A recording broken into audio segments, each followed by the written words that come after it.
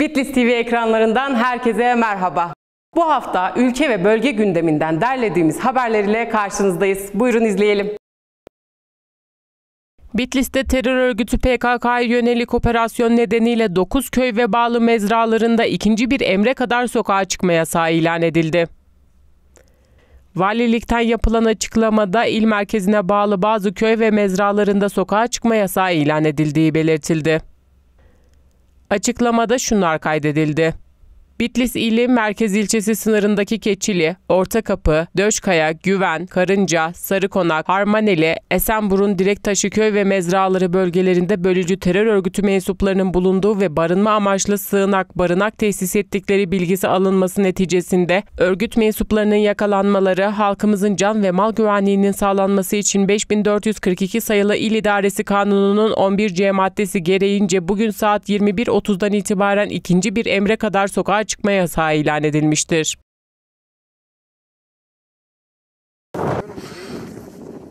Bitlis'in Tatvan ilçesinde bulunan Nemrut Kalderası'nda zirve yürüyüşü yaparken rahatsızlanan iki dağcıyı ekipler hastaneye ulaştırdı. Muş'tan gelerek 2900 rakımlı Nemrut Krater Gölü çevresindeki zirvede yürüyüşe başlayan 6 kişilik gruptan biri düşme sonucu, diğeri de geçirdiği kalp rahatsızlığı nedeniyle yürüyüşü sollandırdı. Biraz taş kar diksin tamam. 112 Acil Sağlık Merkezi'ni arayarak durumun bildirilmesi üzerine Ulusal Medikal Kurtarma, Afat ve Ahlat İlçe Jandarma Komutanlığı ekipleri Nemrut Dağı'na hareket etti. Bekleyeceğiz. Ee, gitmesin ambulans. Araçların gidemediği bölgeye yürüyerek ulaşan ekipler, dağcılar Serhat Vural ve Bayram Güzel'i gece karanlığında sedye ile ambulansın bulunduğu yere taşıdı. Bastığım yerlerde ağrı mı var? Neresi tam olarak? UMKE ekibi görevlisi Erol Öndaş, Nemrut Dağı'nda yaralı vakası olduğu bilgisinin verilmesi üzerine yola çıktıklarını söyledi. Bitlis Ülke olarak tarafımıza 8.50'de vaka bildirimi yapıldı. Nemrut Krater Gölü Çanak e, tırmanışı yapan bir grup yerli turist e, kayadan düşme ve e, kalp spazmı geçiren bir vaka bildirimi oldu. E, Koma, Ahlat e, Komando Birliği ve AFAD'la birlikte e, müdahale edildi. Yaralılar e, ambulansa 112 ekibine teslim edilerek hastaneye intikalleri yapıldı. Dağcılardan Yunus Vural ise kuzen ve arkadaşlarıyla Muş'tan gelip dağ yürüyüşü yaptıklarını anlattı. Rem titremeye başladı. Sonra baktık kalbi atmaya başladı, fazla atmaya başka yere attı. Ne ettik etmedik faydası olmadı.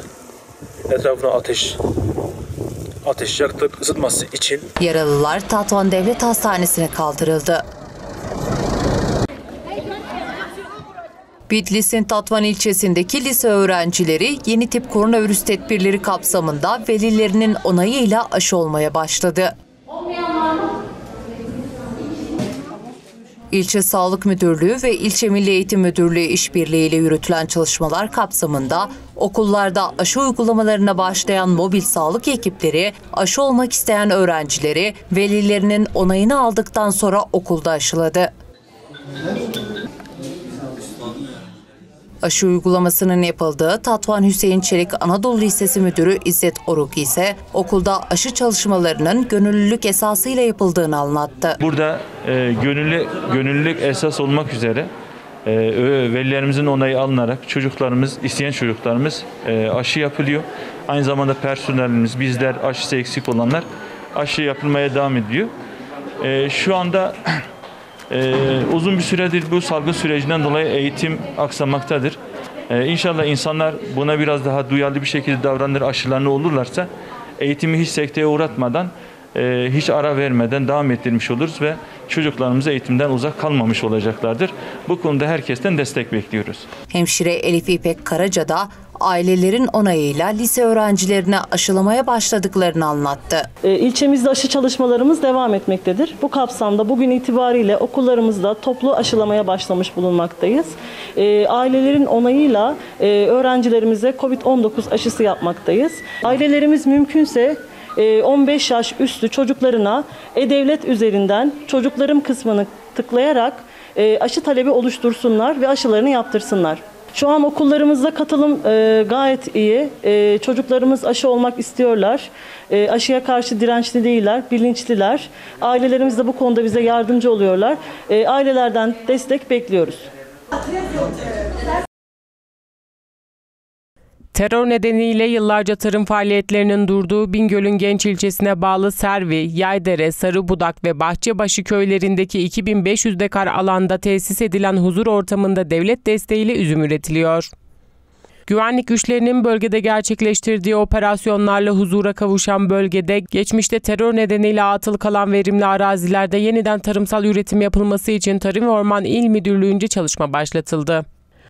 Bu kapsamda daha verimli üretim için Erzincan'da eğitim verilen üreticilere 100 dekar alanda telli terbiye sistemi kurulumu için destek de sunuldu.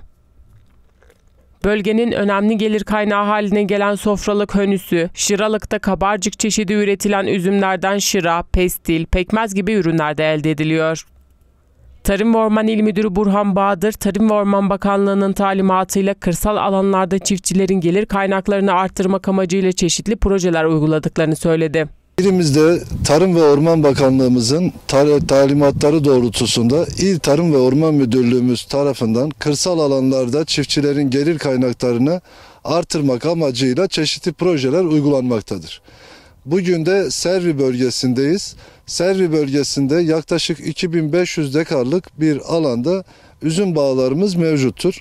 Bu alanda üzüm bağlarının rehabilitasyonu projesi kapsamında 2020 yılında telli terbiye sistemi ile üzüm yetiştiriciliğini geliştirme projesini uyguladık. Toplam 100 dekarlık bir alanda uygulama yapıldı ve burada 20 çift 23 çiftçimize de hibeli bir şekilde tüm bu sistem dağıtılmış oldu ve sistemin kurulmasına arkadaşlarımız da yardımcı oldular. Tabi burada elde edilen üzüm hem sofralık olarak hem şıra olarak değerlendiriliyor. Yine elde edilen üzümden biz e, cevizli sucuk, pestil, ve muska dediğimiz ürünleri de elde ediyoruz. Bunlar da sofralara tüketim e, tü- tüketim e, şey gıdası olarak gidiyor. Servi köyünde yaşayan Mehmet Baysal da yıllar önce ayrıldığı köyüne dönerek başladığı üzüm üretimini sürdürüyor.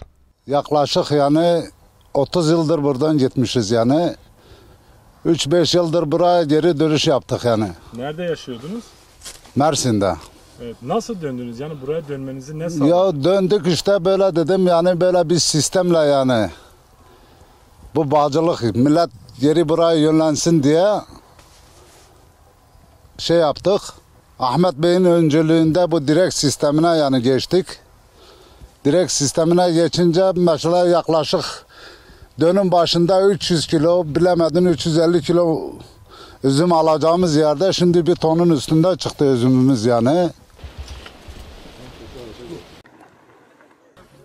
Van Gölü Aktivistleri Derneği Bitlis'in Tatvan, Güroymak ve Ahlat ilçeleri arasında yer alan 2800 metre yükseklikteki Nemrut Kalderası'nda zirve yürüyüşü düzenledi. Nemrut Çanağı yürüyüşüne katılan dernek üyesi 70 doğal sever Nemrut Kalderası'nın ağız genişliği olan 40 kilometreyi 12 saatte yürüdü. Nemrut Dağı'nın Tatvan yamacında tırmanış yapan doğa severler zirve yürüyüşü boyunca sol yönde Nemrut Krater Gölü'nü, sağ yönde ise sırasıyla Tatvan, Van Gölü, Süphan Dağı, Ahlat, Nazik Gölü, Güroymak, Atatürk Dağı, Bitlis ve Güneydoğu Toros Dağları'nı görme imkanı buldu. Van Gölü Aktivistleri Derneği Başkanı Erdoğan Özel, Nemrut Kalderası'nın Van Gölü Havzası'nın en nadide yerlerinden biri olduğunu söyledi. Nemrut Kalderası'nın zirvesindeyiz.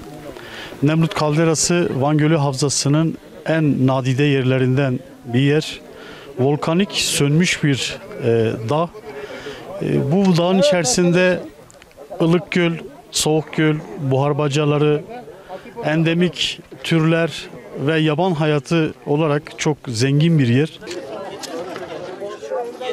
Son zamanlarda kesin korunacak alan olarak tescillendi. E, Nemrut Kalderası e, gerçekten turizme kazandırılması gereken çok önemli bir nokta. Amacımız buraya dikkat çekme, farkındalık oluşturma, bu zenginliği tanıtma. Bu yıl üçüncüsünü düzenliyoruz.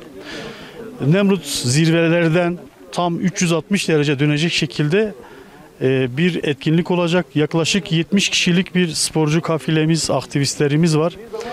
E, Birçok farklı yerden gelen sporcular var.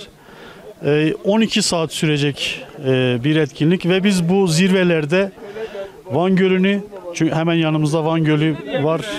Yine e, Nemrut'un iki tane gölünü ve e, Nazik Gölü olmak üzere üç gölü aynı anda görmüş olacağız. Muazzam bir yer. Amacımız burayı tanıtmak, insanların ilgisini, turizmin ilgisini buraya çevirmek ve bunu kazandıktan sonra da bölge ekonomisine, bölgenin kalkınmasına bir katkı sunmak istiyoruz. Doğa sever Dilan Yüksekkaya ise tabiatı güzel olan Nemrut Krater Gölü'ne geldik. Çok mutluyum dedi. Bugün e, Nemrut Krater Gölü'ne geldik. E, Bitlis Tatvan'ın güzel, e, ta- tabiatı güzel bir e, krater gölü. E, Çanak etrafında 360 derece e, zorlu bir yolculuk bizi bekliyor. Ama e, başarılı olacağımızdan şüphem yok. E, bakalım e, güzel zamanlar bizi bekliyor.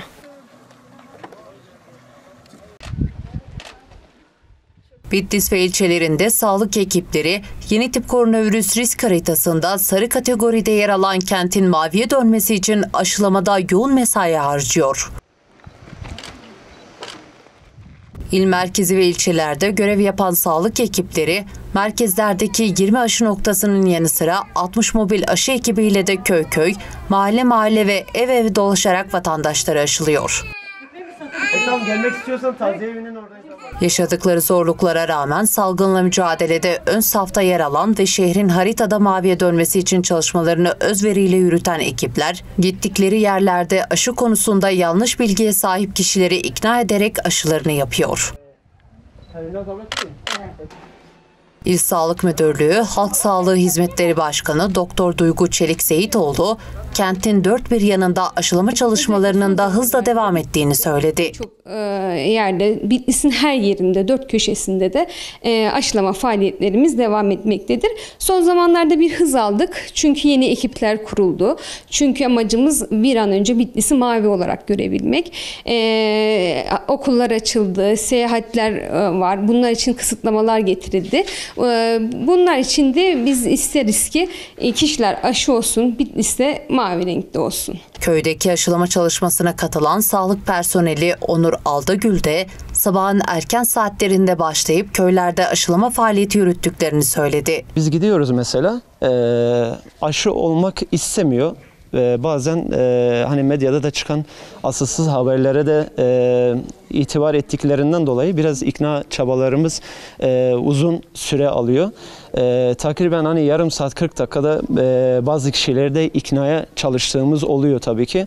Ama bunun neticesinde ikna çalışmalarımız sonuç veriyor. E?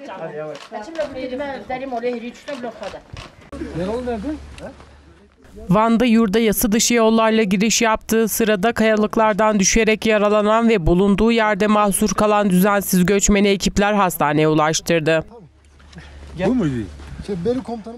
Van AFAD Müdürlüğü'nün sosyal medya hesabından yaptığı bilgilendirmeye göre Çaldıran İran sınırında yurda kaçak yollarla giriş yapan düzensiz göçmenlerden biri kayalıklardan düşerek yaralandı. AFAD, Çaldıran İlçe Jandarma Komutanlığı ve sağlık ekipleri 112 acil çağrı merkezine gelen ihbar üzerine bölgeye hareket etti. Ekiplerin yoğun çalışması sonucu mahsur kaldığı kayalık alandan kurtarılan yaralı ambulansla hastaneye kaldırıldı. Diğer 9 düzensiz göçmen de sağlık kontrollerinden geçirilmek üzere ekiplere teslim edildi. Bizim yapmamız gereken bir şey var mı? Ağrı İl Jandarma Komutanlığı ekipleri yoğunluk yaşanan Ağrı Erzurum ve Ağrı İran karayollarında helikopterle denetim yaptı.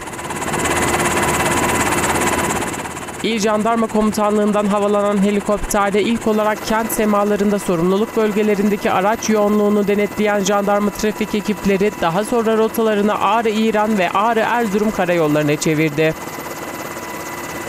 Jandarma Asayiş Şube Müdürü Binbaşı İsa Çamcı ile Trafik Kısım Amiri Jandarma Assubay Kıdemli Başçavuş Murat Somay'ın katıldığı denetimlerde havadan tespit edilen hatalı sürücüler telsiz aracılığıyla kontrol noktalarındaki ekiplere bildirildi. Anadolu Ajansı ekibinin de eşlik ettiği denetimde 633 araç kontrol edildi.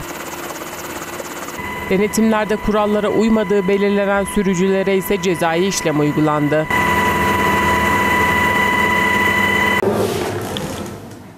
Muş'ta faaliyet gösteren Ali Kuşçu Özel Eğitim Uygulama Okulu'ndaki öğrenciler açılan atölyede hem istek öğreniyor hem de aile bütçelerine katkı sağlıyor. Temel derslerinin yanı sıra resim, müzik ve görsel sanatlar eğitimi alan öğrenciler okul bünyesinde kurulan mobilya atölyesinde el becerilerini geliştiriyor. Okul müdürü Serdar Koç gazetecilere engelli öğrencileri meslek sahibi yaparak geleceğe hazırlamak istediklerini söyledi. Özel eğitim öğretmeni Mehmet Ali Yeşilkaya ise öğrencilere haftada 15 saat süreyle beceri ve yetenekleri alanında farklı etkinlikler düzenlediklerini belirterek şunları kaydetti. Beceri ve yetenekleri dahilinde biz sınıfımıza farklı farklı etkinlikler düzenleriz. Öğrencilerin kendi imkanları, kendi e, yetenekleri ölçüsünde farklı e, mobilya, ahşap üzerinde he- hediyelik eşya, süs eşyaları, e, duvar saatleri, daha sonra e, tablolar, fotoğraf e, fotoğraf tabloları falan, resim tabloları yaparız. Öğrencilerimiz bu tabloları e, yıl sonu itibariyle biz sergi yaparız öğrencilerimizle birlikte. Sergilerimizde öğrencilerimiz bu eşyaları kendileri yine kendi yaptıkları ürünleri e, dışarıdan gelen e, insanlara satmaya satar.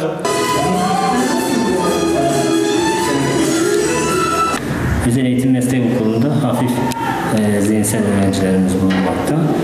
E, meslek okulu olarak e, hem mobilya atölyemiz hem de el sanatları alanında atölyelerimiz mevcut. Oyuncak arabalar, doğal ürünler, süs eşyaları, e, bunların içerisinde e, duvar saati bile var.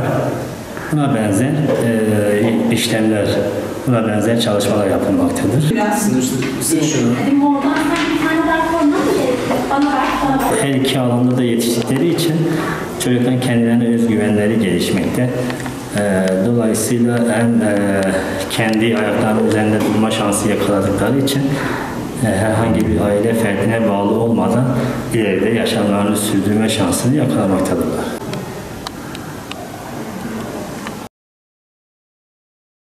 Tarım ve hayvancılıkta Türkiye'nin önemli illeri arasında yer alan Kars'ta silajlık mısır hasadına başlayan köylülerin kış hazırlığı devam ediyor.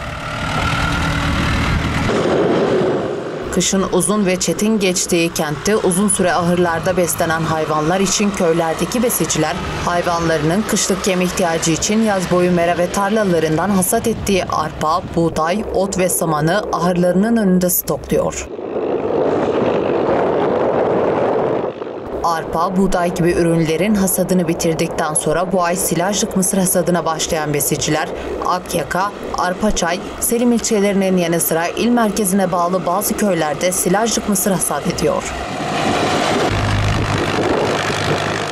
Silajlık mısır ile hayvanlarının kışlık yem ihtiyacını karşılamak isteyen besiciler sabahın erken saatlerinde traktörleriyle yola çıkarak geldikleri tarlalarda hasat yapıyor. Besicilerden Levent Erdağ, kışa hazırlık yaptıklarını anlatarak silajlık mısır hasadının mevsimi gelince çalışmalara başladık dedi. Şu anda mısır, mısır sılacı e, ayındayız. Herkes mısır bitiyor. Hayvanın yiyebileceği kadarını herkes e, stok ediyor. E, fazlasını da yukarıki köylere, işte Subatan, Başkedi, şu bölgelere satıyor. Geçim hayvancılık. Kış ki- yani burada şu anda çok biraz zaman kaldı. Bir iki ay bir zaman sonra kar yağacak. Besiciler hani bu şekilde bu ya da hayvancılık yapanlar bu aylarda Eylül ayında mısırını Ekim'le Eylül arasında bu bir ay içinde tamamlıyorlar yani. Saman olsun, yem olsun, kar yağmadan herkes bu işini bitiriyor. Demirkent köyüne traktör ile silajlık mısır taşıyan Şahin Yıldırım ise bu aşamayı da bitirdiklerinde kışa hazır olduklarını söyledi. Sabah 5'te başlıyoruz işte işte. Ee, gidiyor başımızdaki büyük olsun ya da arkadaşımız olsun kim çalışıyorsa işte şoför kimse o gidiyor gidiyor işte biçmeye başlıyor. Biz de sonra gidip onun biçtiği işte sılajları, hasat ettiği sılajları alıp geliyoruz. O şekilde devam ediyor. İşte saat 8 9 akşam 9'a kadar işte devam ediyor.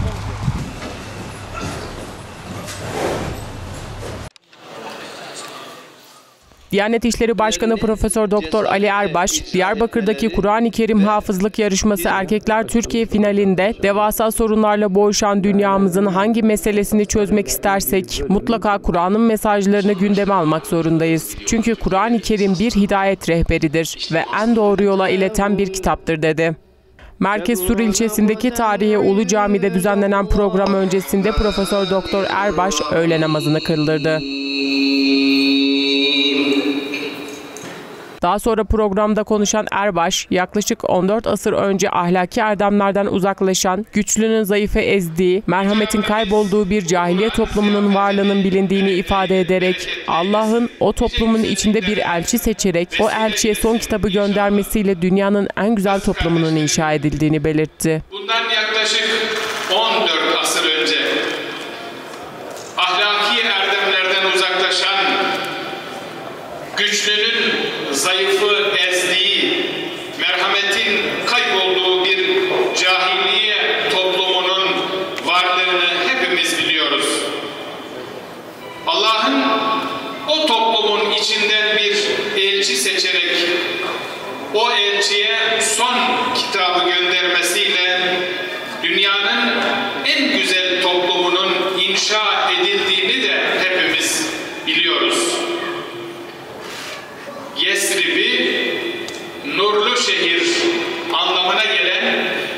الذين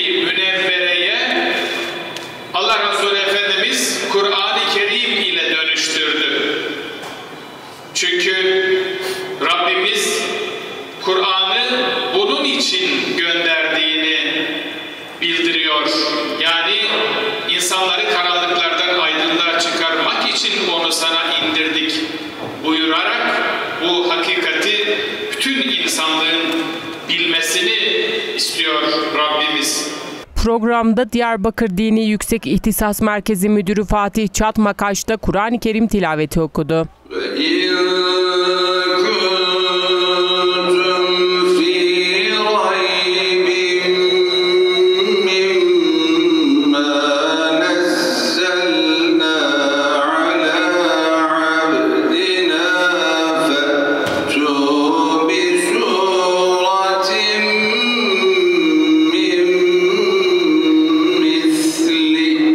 Konuşmaların ardından yarışmada dereceye giren hafızlara çeşitli hediyeler verildi.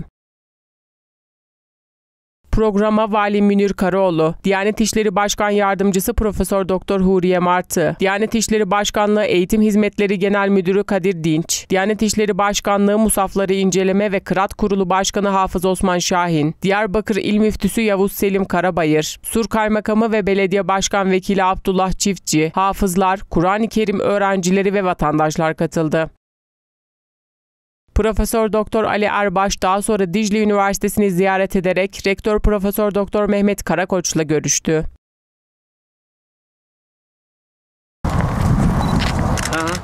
Erciş Belediyesi'ne ait 28 bin metrekarelik alanda bağ bozumu yapıldı. Biraz daha aslında çok güzel bir belediye sağlıklarında Erciş Belediyesi Park ve Bahçeler Müdürlüğü'nün Adnan Menderes mahallesindeki 28 bin metrekarelik 1 Nisan üzüm bağları uygulaması aslında Erciş üzümünün bağ bozumu gerçekleştirildi. En güzel projelerimizden birisidir bu. AK Parti Van Milletvekili Abdülahat Arvas yaptığı açıklamada Erciş'te 3000 yıllık tarihi olan Erciş üzümünün bağ bozumunu yaptıklarını söyledi. Bugün Erciş'te e, zamanında 3000 yıllık tarihi olan Erciş üzümünün bağ bozumunu yapıyoruz. E, belediyemiz e, bağ üzümü Yukarı Toki'de güzel bir bağ bahçesi yaptı. Geçen sene biz de e, belediye ile Tarım İlçe Müdürlüğümüz ve Tarım İl Müdürümüz Büyükşehir ile beraber 140 bin adet fidan ektik bedava milletimize dağıttık. Bu sene de bir 350 bine yakın tekrar fidan ektik milletimize dağıttık.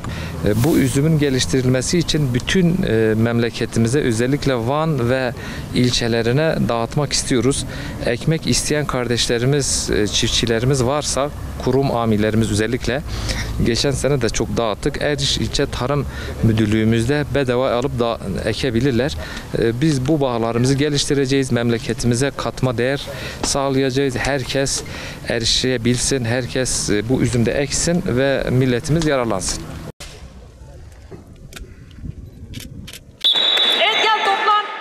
Türkiye Erkekler Handbol Birincilik takımlarından 1955 Batman Belediyesi'nin antrenörlüğünü yapan 34 yaşındaki Nilgün Atar'ın hedefi takımı Süper Lig'e çıkarmak.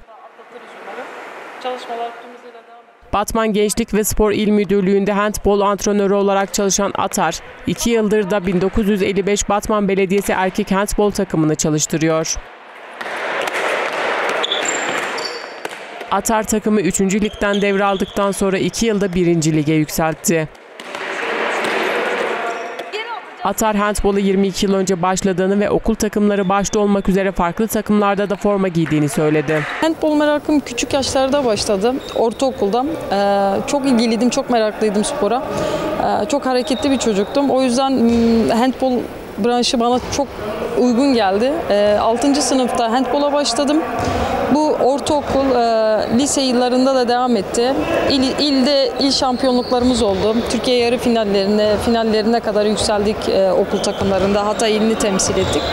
Daha sonra bu merakımı üniversitede de devam ettirdim. Üniversitede e, Beden Eğitimi ve Spor Yüksek Okulu'na hazırlandım ve ilk yılımdan hedefime ulaştım. E, orada da üniversite takımında 4 yıl boyunca mücadele ettim. E, oynadığım takımlar da oldu orada.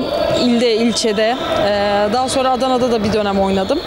Ee, okul bittikten sonra antrenörlüğe merak saldım. Ee, 2010'dan beri de Batman'da antrenörlük yapıyorum. Ee, 1955 e, Batman e, Belediyesi Handbol takımı olarak e, birinci lige yükseldik. Bu hiç kolay olmadı. Ee, çok çalıştık, çok çabaladık, çok emek verdik. Ee, neredeyse haftanın 7 günü antrenman yaptık bunun için.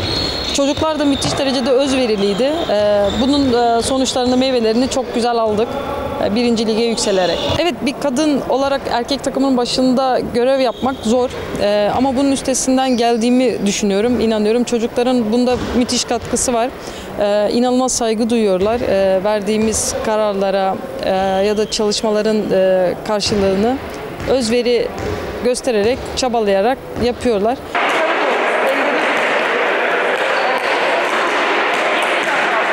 Sporcudan ziyade insan yetiştirmeyi seviyorum ben. Ee, Kadın olmamın bunda çok e, önemli olduğunu düşünüyorum. Küfür, argo kesinlikle karşıyım. Ee, Sporcularımdan da bunları duymamak için elimden gelen her türlü özveriyi gösteriyorum. Ee, Onlar da bu e, düşünceme saygı duyuyorlar. Bu yüzden çatışmıyoruz. Ee, İnsan yetiştirmenin e, zorlukları elbette var. Bunun için mücadele ediyoruz, çabalıyoruz. Çocuklar da bu konuda gayret içerisindeler. Van'ın Erciş ilçesinde kuraklığa bağlı olarak su seviyesinin azaldığı Van Gölü'ndeki iskelede balıkçı tekneleri iş makinesi yardımıyla göle açıldı.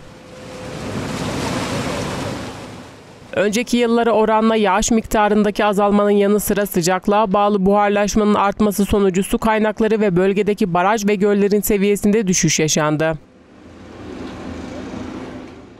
Erciş'te kuraklığa bağlı olarak su seviyesi önemli oranda azalan Van Gölü'ndeki iskelede balıkçı tekneleri karaya oturduğu için göle açılamadı.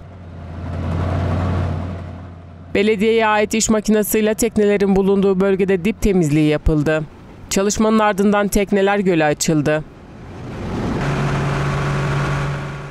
Çalışmaları yerinde inceleyen Kaymakam ve Belediye Başkan Vekili Nuri Mehmet Beyoğlu, yağış miktarındaki düşüş ve sıcaklık nedeniyle göl suyunun iyice azaldığını söyledi. Yağışların az, azlığı ile birlikte kurak bir mevsim yaşamaktayız.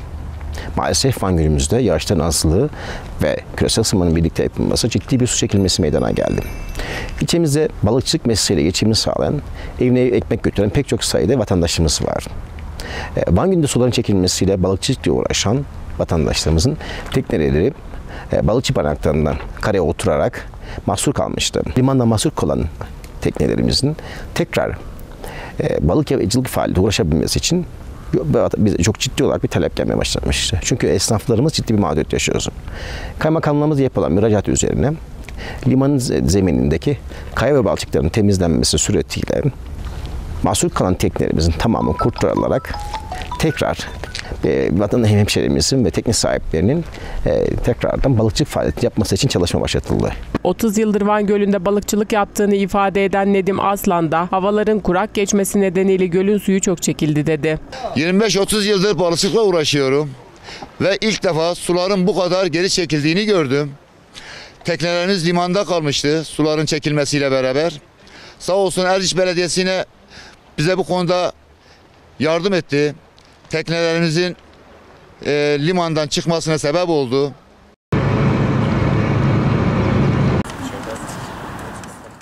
Fırat Üniversitesi Tıp Fakültesi öğrencisi 23 yaşındaki Hasan Coşkun, bir dönem işçi olarak inşaatında çalıştığı üniversite kütüphanesine artık doktor adayı olarak geliyor. Baskir ilçesine bağlı Hacı Hüseyinler köyünde çiftçi bir ailenin çocuğu olarak doğan Coşkun, köy ilkokulunda başladığı eğitim hayatı boyunca doktor olmanın hayalini kurdu. Burası her şey güzel şu banko hariç. Hayalini gerçekleştirmek için derslerini aksatmadan çalışan Coşkun, lisede üniversite sınavına hazırlanırken bir yandan da ailesine destek olmak için hem köy işlerinde hem de inşaatlarda çalıştı. Hacettepe'yi bitirdiler. Azmi ile 5 yıl önce Fırat Üniversitesi Tıp Fakültesini kazanan Coşkun, daha önce inşaatında emeği olan üniversite kütüphanesinde bugünlerde tıp öğrencisi olarak ders çalışıyor. Coşkun'un sosyal medya hesabından fotoğrafını paylaştığı kütüphaneye ilişkin, sizce ben inşaatında çalıştığım kütüphaneye yıllar sonra tıp fakültesi öğrencisi olarak çalışmaya gelmiş miyimdir? Mesajı binlerce beğeni aldı. Fırat Üniversitesi Rektörü Profesör Doktor Fahrettin Göktaş da paylaşımı sonrası kütüphanede bir araya geldiği genci tebrik etti. Coşkun ilkokuldan itibaren hep doktor olmanın hayalini kurduğunu söyledi. Güneşin e, güneşin altında çalışmıştık ve zor günlerdi. Sonrasında burayı kazanınca e, ve bu kütüphaneye yani inşaatına çalıştığım kütüphaneye ders çalışmaya geldiğim zaman hani insanın e, azmedince, isteyince, çalışınca hedefleri doğrultusunda neleri başarabileceğini, hani insanın içindeki cevheri ancak çalışabilince ortaya çık- çıkabileceğini gördüm ve e, neticesinin çalışmalarımın neticesini aldım. Bunun için çok mutluyum. Profesör Doktor Göktaş da Coşkun'un zor şartlara rağmen çalışıp tıp fakültesini kazandığını ifade ederek şunları kaydetti. Hasan kardeşimizin e, sosyal medyada mesajını görünce hakikaten e, biz de heyecanlandık. E, böyle e, azimle çalışarak insanın e, neler yapabileceğinin en güzel örneklerinden birisi. E, hem e, tabii ki kendisinin bu anlamıyla genç kardeşlerimize, çocuklarımıza örnek e, olması açısından da çok e, büyük önem arz ediyor.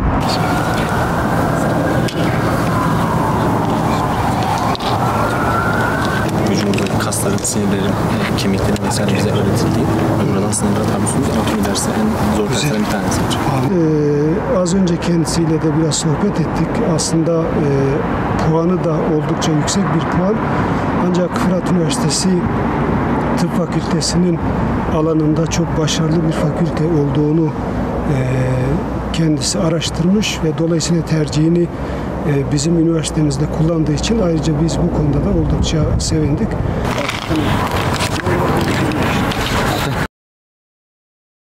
Bitlis'in Hizan ilçesinde ilk öğretim haftası dolayısıyla tören düzenlendi.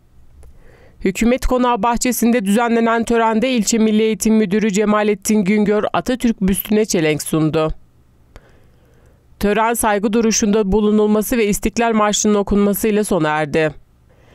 Daha sonra şehit öğretmen Abdurrahman Nafiz Özbağrı Açık İlkokulu'nda devam eden programda Cumhurbaşkanı Recep Tayyip Erdoğan'ın mesajı okundu. Hizan Kaymakamı Muhammed İkbal Yelek öğrencilere yeni eğitim öğretim yılının hayırlı olmasını diledi. Günün anlam ve önemini belirten konuşmaların ardından öğrenciler tarafından şiirler okundu. Muş'ta İl Jandarma Komutanlığı Trafik Şube Müdürlüğü ekipleri kent genelinde okul servislerine yönelik drone destekli trafik denetimi yaptı. Çocukların trafikte güvenli bir şekilde yolculuk yapması için salgın döneminde okul servis araçlarında alınan tedbirler tek tek kontrol edildi. Valilikten yapılan açıklamaya göre Jandarma Komutanlığı trafik timlerince Muş Bingöl Karayolu Nadaslık Köy mevkisinde yol arama ve kontrol noktalarında drone trafik denetimi yaptığı belirtildi. Okul servis aracına bindiğiniz zaman lütfen Açıklamada şu ifadelere yer verildi.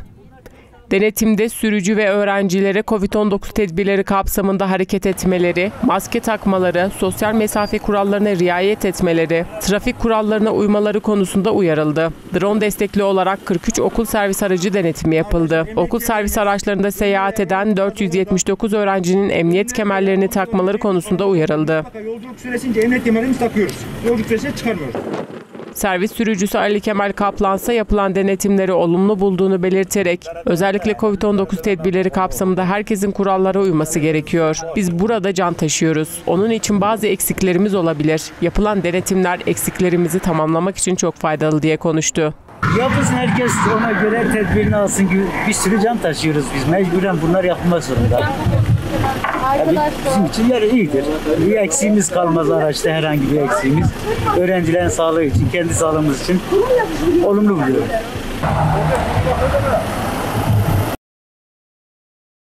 Tatvan İlçe Sağlık Müdürlüğü ekiplerince kentteki köy ve mezralarda aşılama çalışmaları aralıksız devam ediyor.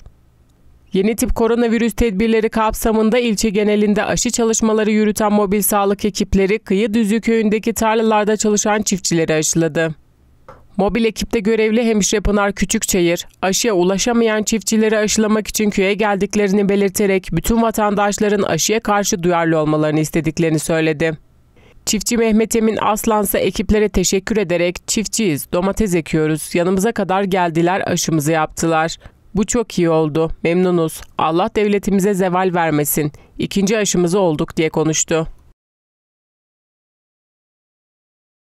Geniş meraları ve yaylalarıyla hayvancılığın önemli merkezlerinden Van'da küçükbaş hayvancılığın geliştirilmesi ve ekonomiye katkısının arttırılması amacıyla sağlanan destekler ve geliştirilen projeler kırsal bölgelerdeki mahallelere dönüşleri hızlandırdı. İlçe Tarım ve Orman Müdürü Cihat Çağrı, projenin üreticilerden ve vatandaşlardan ilgi gördüğünü, desteklerden yararlanmak isteyenlerin sayısının her geçen gün arttığını söyledi. Köyümde yaşamak için bir sürü nedenim var projesi kapsamında ilçemize 180 başvuru e, aldık. E, Bu başvurular gerekli incelemelere tabi tutulduktan sonra şu aşamada 45 yetiştiricimiz hak sahibi oldu.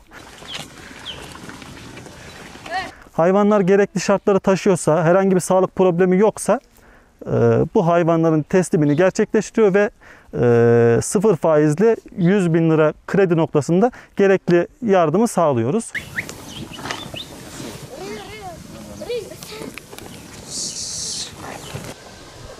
Köyümde yaşamak için bir sürü nedenim var projesi kapsamında. Ee, küçükbaş hayvancılığı geliştirme ve çoğaltma amacıyla yapılan bir proje. Halkın teveccühüyle karşılaşıldı. Ee, biz de Erciş Kaymakamlığımızın koordinasyonunda vatandaşlarımıza gerek hayvan seçiminde yardımcı oluyoruz. Ee, hayvan kabulünde görev alıyoruz.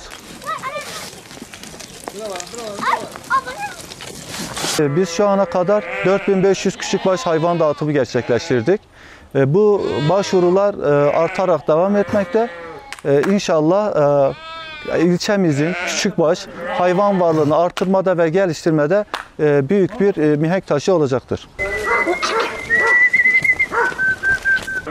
7 yıl faizsiz, ilk 2 yıl ödemesiz olan e, bir proje bu. Halkımız bu yüzden büyük bir katılım sağlamaktadır. E, Köyünden kente göç eden vatandaşlar bu proje kapsamında tekrar köylerine geri dönüş yaptılar. Bununla ilgili Ercik Kaymakamlığımızın büyük katkıları ve çalışmaları oldu. E, Hayvancılıktan e, vazgeçmiş, hayvancılık yapmayan birçok vatandaşımız tekrar hayvancılık yapmaya başladı. E, bahçelerde, tarlalarda artık e, koyun seslerini duymaya başladık. Bu da e, bizi gerçekten çok mutlu etti.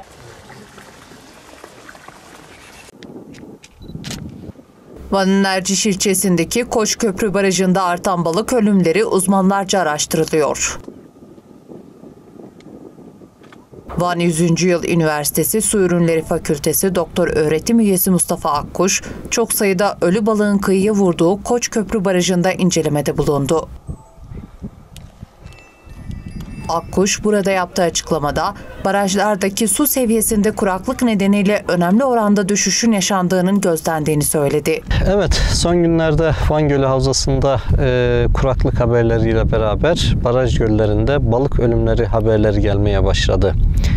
Malum içerisinde bulunduğumuz Eylül ayında, Eylül ayı itibariyle beraber e, bu bölgede özellikle çok ciddi ötrofikasyon hadisesinin olduğunu görüyoruz. Yani suya azot fosfat girdisiyle beraber buradaki mikro algler, ipliksi algler çoğalaraktan buradaki balıkların solungaçlarını tıkıyor ve burada e, balık ölümleri gerçekleşiyor. Şu anda bulunmuş olduğumuz Koç Köprü Baraj Gölü'nde tipik bir ötrofikasyon hadisesi yaşıyoruz. Göl tamamen neredeyse koyu yeşil bir hale dönmüş. Su oldukça bulanık. Oksijen seviyesi haliyle düşüyor ve binlerce balığın öldüğüne şahitlik ediyoruz. Peki geçen yıllarda bunu bu sene yaşamadık da bu sene neden yaşıyoruz? Bu sene kuraklıktan dolayı baraj göllerindeki su seviyelerinde inanılmaz bir düşüş meydana geldi. Belki de tarihinde hiç olmadığı kadar baraj göllerindeki su seviyesi alçaldı. Önümüzdeki aylarda meydana gelecek olan e, yağmur yağışlarıyla beraber umuyoruz ki tekrardan barajlara su girdisi olacak, su seviyeleri yükselecek ve e, balık ölümlerinin sona erdiğine şahitlik edeceğiz. Arasında işte diyelim ki kolostomisi var. Ağrı İbrahim Çeçen Üniversitesi Sağlık Yüksekokulu öğrencileri üniversitedeki multidisipliner simülasyon laboratuvarıyla hastane deneyimi kazanmış şekilde başlayacak. Üniversitelerin Serhat Kalkınma Ajansı ortaklığıyla yürüttüğü proje kapsamında 1 milyon lira maliyetle kurulan laboratuvar sayesinde öğrencilerin mezun olmadan hastane ve yoğun bakım eğitimi deneyimi yaşaması amaçlanıyor. Yoğun bakım ünitelerinde hasta üzerinde uygulanan tüm tedavi yöntemlerinin simülasyonla öğretileceği laboratuvarda öğrencilerin muhtemel senaryolara karşı hazırlıklı olması ve klinik becerilerini geliştirmesi sağlanacak.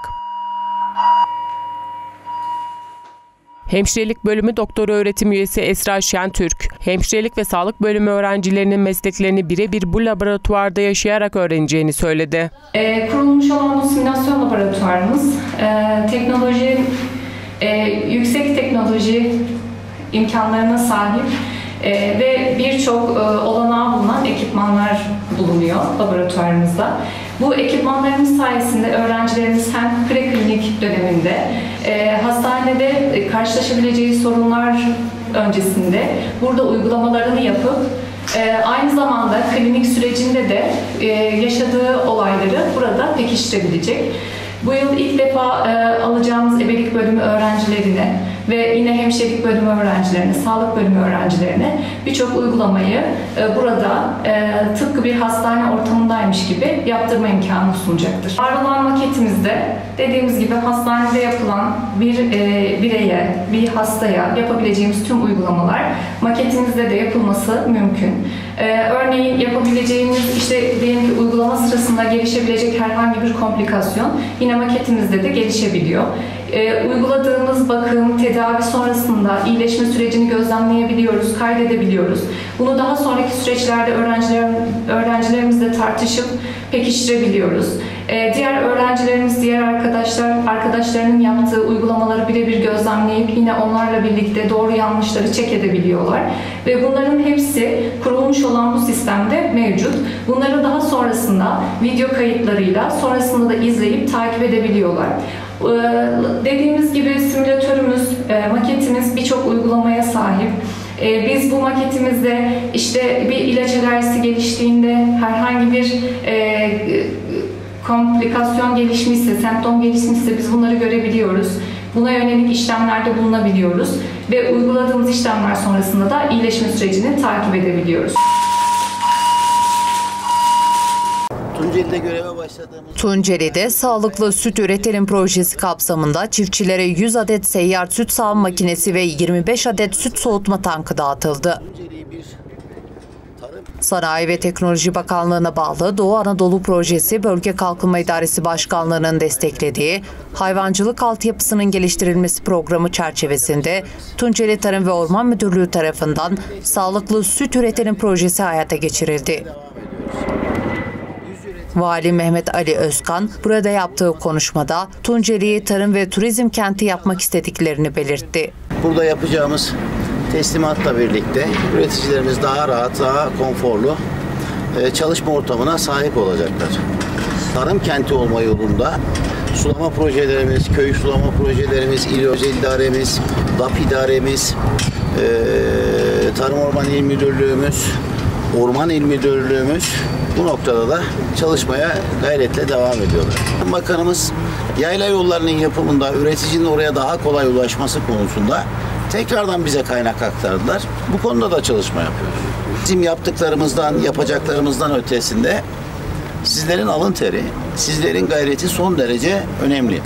Doğru modellerle, doğru işleyişle e, çalışmanız ve verimli hale getirmeniz hem tarımı, sulu tarımı, hem kuru tarımı hem de hayvancılığı son derece önemli.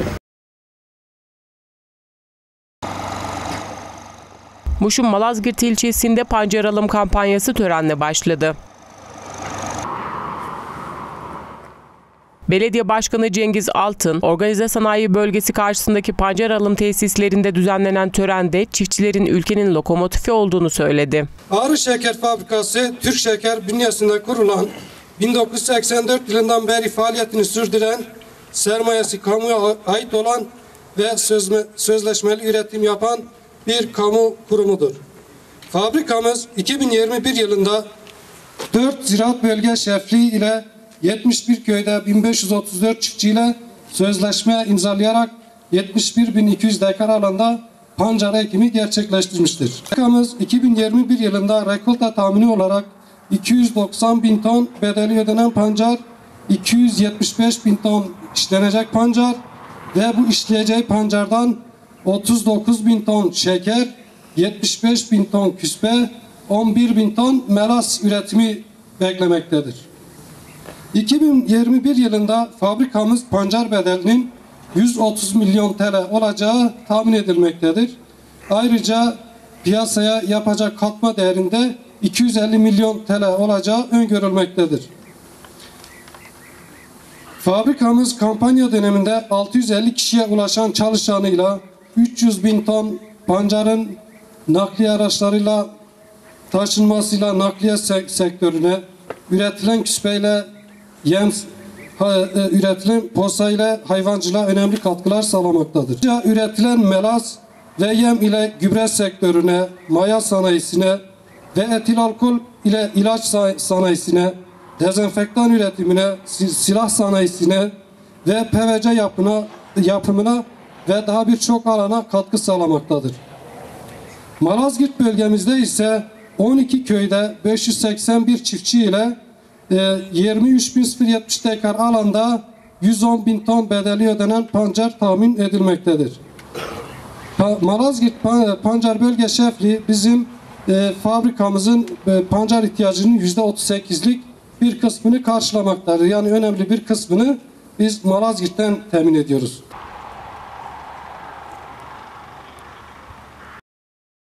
AK Parti Bitlis Milletvekili Vahit Kiler ve Cemal Taşar öncülüğündeki AK Parti heyeti Bitlis ve ilçelerine yaptıkları ziyaretlere devam ediyor. Heyetin bir sonraki durağı Bitlis'in Ahlat ilçesi oldu. İlçe merkezinde ziyaretlerde bulunan heyet mahalle ve köy muhtarlarıyla görüşerek sorun ve taleplerini dinledi. Ahlat ilçe kaymakamlığını da ziyaret eden heyet burada kaymakam ve görevlilerle istişare etti. Kaymakamlığın ardından Ahlat Devlet Hastanesi'nin açılışını gerçekleştirmek üzere hastaneye giden heyet burada coşkuyla karşılandı. Açılan Ahlat Devlet Hastanesi'nin bölge ve ilçe için ne kadar önemli olduğunu dile getiren Vahit Kiler şunları kaydetti. Emeği geçen herkese ben burada teşekkür ediyorum. Bakanlarımıza, başta tabii Cumhurbaşkanımıza. Tabii fiziki mekanlar yapmak kolay. İçini doldurmak daha zor. Allah'ın izniyle bizler bu güzel 5 yıldızlı otel kapasitesindeki hastane, hastanemizi içinde dolduruyoruz. 2002'de geldiğimiz zaman 18 olan ebe hemşire sayısı şu an Ahlat'ta 90 ebe hemşire var. Değerli kardeşlerim. Bakın nereden nereye diyor ya Sayın Cumhurbaşkanımız. Burada aynen onu yaşıyoruz. Nereden nereye? Toplam Ahlat sağlık sisteminde, sağlık ocağında, hastanede çalışan personel sayısı 36 idi. Bugün 260 personelle, sağlık ordusuyla Ahlat'a hizmet veriyoruz. Elhamdülillah. Yani bizler Allah'ın izniyle ahlatımız için çalışıyoruz. Sayın Cumhurbaşkanımızın talimatlarıyla ahlatımızı inşallah daha güzel hizmetlerle buluşturacağız. Heyet açılışın ardından Ova Kışlayı da ziyaret ederek 112 Komuta Kontrol Merkezi temel atma törenine iştirak etti. AK Parti Bitlis milletvekilleri Vahit Kiler ve Cemal Taşar Tatvan ilçesinde çeşitli ziyaretlerde bulundu. İlçe merkezindeki iş yerlerini gezerek esnafın sorun ve taleplerini dinleyerek bir süre sohbet eden Taşar ve Kiler ardından Kaymakam Tekin Erdemir'i makamında ziyaret etti, muhtarlarla düzenlenen toplantıya katıldı. Biz köylerimize kaynak aktarmış olduk. Ziyaret programı çerçevesinde düzenlenen toplantıda mahalle ve köy muhtarlarıyla bir araya gelen heyet talep ve sorunları dinleyerek çözüm noktasında istişare etti. AK Parti Bitlis Milletvekili Vahit Kiler düzenledikleri geziyle esnafla ve halkla kucaklaşmaya amaçladıklarını bildirerek her zaman halkımızın yanındayız ifadesini kullandı. Buna ihtiyacımız var. Yapılan çalışmaları, ihtiyaçları, eksiklerimizi yerinde. Hoş geldin, otur. Biraz evvel meclis başkanımıza, il başkanımıza anlattı. Elhamdülillah. Biz e, özellikle bu sene çok ciddi bir çalışma var. İl özel idaremiz, meclis üyelerimizin de, genel meclis üyelerimizin de çalışmasıyla, meclis başkanımızın ve genel sekreterin çalışmasıyla şu anda bütün köylerimizde çalışma var elhamdülillah. Ama bizim bir hedefimiz var inşallah. Önümüzdeki sene Türkiye Bitlis tarihindeki en fazla inşallah özel idare köylere yatırım miktarını alacağız. İnşallah bir hedefimiz var. Onu da şimdiden hazırlıyoruz. Hem bahsettiği borçlanmayı yapalım. Hem sattığımız arsada bakın bir dönemde yıl, yaklaşık iki sene uğraştık. Rahva'daki askeriyenin elinde olan bir arazi vardı. NATO arazisi diye bilinen biliyorsunuz hastaneden sonra. Şimdi oraya e, organize sanayi kuruyoruz. Orada askeriyeden arazi almak kolay değil ama iki sene biz hiç bıkmadan, usanmadan gece gündüz takip ettik. Elhamdülillah o araziyi bir buçuk milyon lira bedelle yaklaşık bir buçuk milyon metrekare araziyi bir buçuk milyon metrekare araziyi bir buçuk milyon TL sadece bir buçuk milyon TL bedelle özel idaremize kazandırdık. İlçe merkezinde taziye ziyaretinde de bulunan Taşar vekillere ziyaretinde Bitlis Belediye Başkanı Nesrullah Tanglay, Tatvan Belediye Başkanı Mehmet Emin Geylani, AK Parti İl Başkanı Engin Günceoğlu ve partililer de eşlik etti.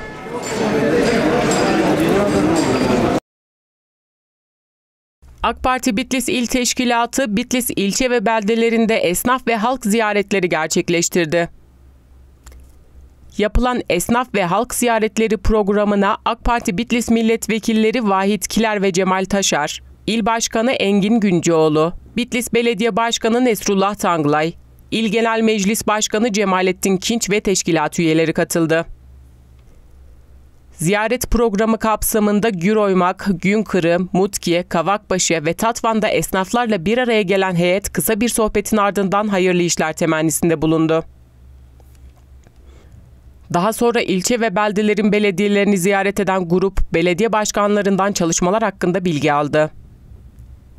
Ziyaret programında mahalle ve köy muhtarlarıyla da bir araya gelen heyet talep ve sorunları dinleyerek çözüm noktasında istişare etti. Öte yandan Mutki Belediyesi'nin vatandaşların hizmetine sunduğu halk ekmek fırınının açılışı gerçekleştirildi. Çeşitli okul ziyaretlerinin de gerçekleştirildiği programda yeni eğitim ve öğretim yılında öğrencilere başarı temennisinde bulunuldu. AK Parti Bitlis Milletvekili Vahit Kiler, düzenledikleri geziyle esnafla ve halkla kucaklaşmayı amaçladıklarını bildirerek her zaman halkımızın yanındayız ifadesini kullandı. AK Partililerin esnaf ve halk ziyaretlerinin hafta boyunca süreceği öğrenildi.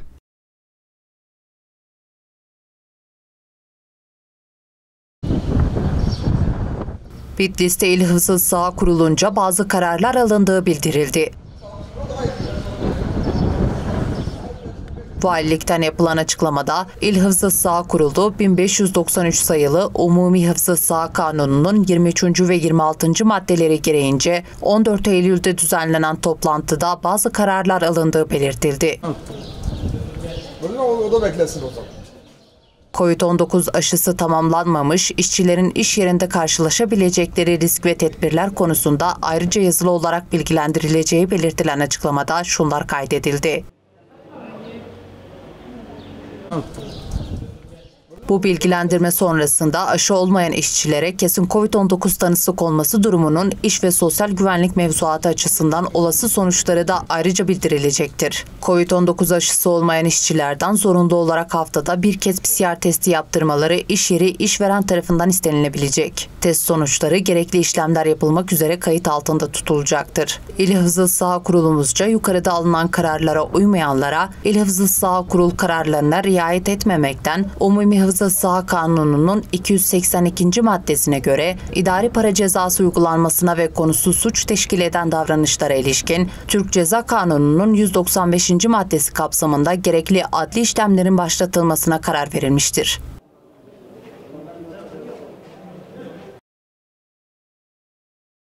AK Parti Bitlis İl Teşkilatı'nın Bitlis ilçe ve beldelerinde yaptığı esnaf ve halk ziyaretleri kapsamında Mutki'de Halk Ekmek Fabrikası'nın açılışı gerçekleştirildi.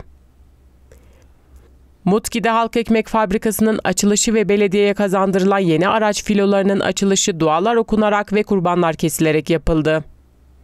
Mutki'de Halk Ekmek Fabrikası'nın yanı sıra Mutki Belediyesi'ne hibe olarak kazandırılan itfaiye, vidanjör, sıkıştırmalı çöp aracı ve cenaze nakil araçlarıyla araç filoları güçlendirildi. Açılış programına AK Parti milletvekilleri Vahit Kiler ve Cemal Taşar, Bitlis AK Parti İl Başkanı Engin Günceoğlu, Mutki Belediye Başkanı Vahdettin Barlak, Bitlis Belediye Başkanı Nesrullah Tanglay, kurum amirleri ve vatandaşlar katıldı.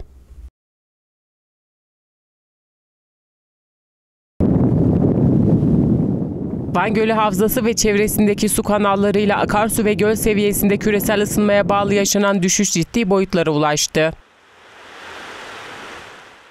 Geçen yıla oranla sıcaklığın yükselmesine bağlı buharlaşmanın artması Van Gölü Havzası'nda başta göl olmak üzere birçok baraj, akarsu ve su kanallarının seviyesinde düşüşe neden oldu. Suyun sığ olduğu noktalarda yer yer 2 kilometreye kadar çekilmenin yaşandığı Erciş ve Muradiye ilçelerindeki kıyılarda birçok iskele, kale ve tarihi kalıntı gün yüzüne çıktı. Van 100. Yıl Üniversitesi Edebiyat Fakültesi Coğrafya Bölümü öğretim üyesi Profesör Doktor Faruk Alaaddinoğlu, tüm dünyada olduğu gibi bölgede de küresel ısınmanın olumsuz etkileriyle karşı karşıya kalındığını söyledi. İklim değişikliği bütün dünyayı etkiliyor.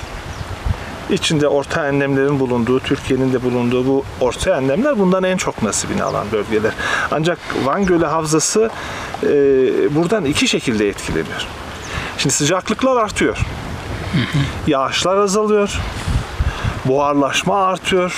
Yani dolayısıyla her şey havzanın aleyhine gerçekleşiyor. Buharlaşma özellikle dikkat çekmiştiniz hocam. İki katı bir buharlaşma söz konusu. Dört katı bir buharlaşma. Düşen yağışın dört katı bir buharlaşma söz konusu. Yani daha önceleri iki katıydı. Şimdi üç katı, dört katı.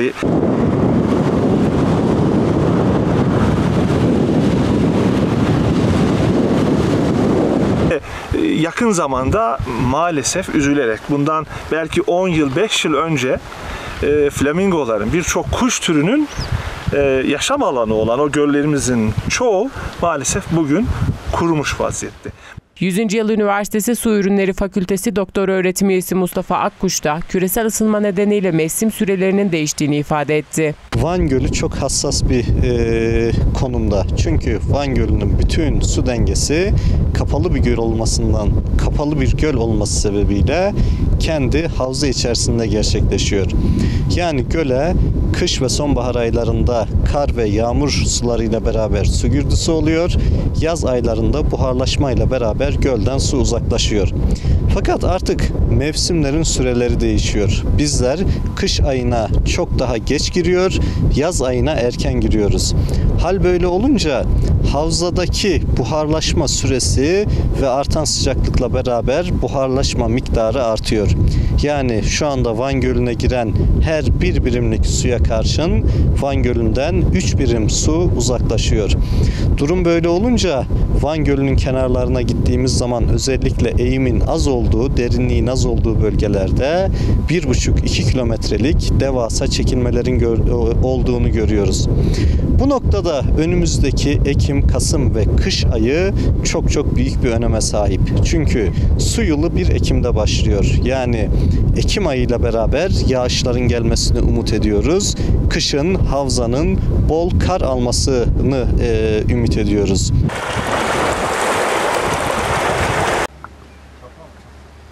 Bitlis'in Ahlat ilçesindeki Selçuklu Meydan Mezarlığı'nda devam eden kazı çalışmalarında bu yıl ortaya çıkarılan mezarlardan 19'unun çocuk mezarı olduğu belirlendi. Kültür ve Turizm Bakanlığı'nın izni ve mali desteğiyle dünyanın en büyük Türkistan mezarlığı olan 210 dönüm alanda yürütülen arkeolojik kazılar tarihe ışık tutuyor. Anadolu'nun kapısı ve tapusu olarak bilinen Ahlat'ta UNESCO'nun Dünya Kültür Mirası geçici listesinde yer alan mezarlıktaki kazı çalışmalarında ortaya çıkarılan 21 mezardan 19'unun çocuklara ait olduğu tespit edildi. Van 100. Yıl Üniversitesi Sanat Tarihi Bölümü Doktor Öğretim Üyesi, Selçuklu Meydan Mezarlığı ve eski Ahlat Şehri Kazı Başkanı Mehmet Kulaz, kırık taşların onarımı, zemin blokajlarının sağlamlaştırılması, kitabelerin çözümlenmesine engel olan nikenlerin temizliği çalışması yürüttüklerini söyledi. Kültür Bakanlığı izin ve destekleriyle 100. Yıl Üniversitesi adına burada bir e, çalışma başlattık. Bu çalışmalarımız mezar taşlarının e, tümlenmesi, blokajların düzeltilmesi, liken temizliği ve epigrafik çalışmaya yönelik çalışmalardan oluşuyordu. Bunun dışında e, bir de e, yeni mezarların ortaya çıkarılmasına yönelik çalışmalar da gerçekleştirdik. Bu e, çalışmalar neticesinde de e, 21 adet yeni mezar toprak altından çıkarıldı. Bunların 19 tanesi çocuk mezarından oluşmakta. E, bununla ilgili çalışmalarımız sürüyor. E, çünkü mezarlığın farklı bir alanında bu denli çocuk mezarlarının yoğun olduğu bir başka e, yer, ortam yok. Bunların da nedenleri üzerinde çalışmaya e, başladık, devam ediyoruz. 100 adet taşın, mezar taşının liken temizliği, blokaj düzeltme, tümleme, kırıkların e, tümlenmesi ve epigrafik çözümlemelerin yapılması gerçekleştirildi. Doğal olarak bütün mezarlıklarda çocuk mezarları vardır. Burada da aynı şekilde e, mezarlık alanında böyle dağınık vaziyette çocuk mezarları vardır ama çalıştığımız alanda bu mezarların toplu olarak bir arada bulunması e, bizi düşündürüyor ve bir araştırmaya sevk ediyor. Biz de bunun nedenlerini e, araştırmak istiyoruz. O yönde bir çalışmamız var. Bu haftaki haber turumuzun burada sonuna geldik. Bir sonraki hafta haftanın özeti programı ile karşınızda olacağız.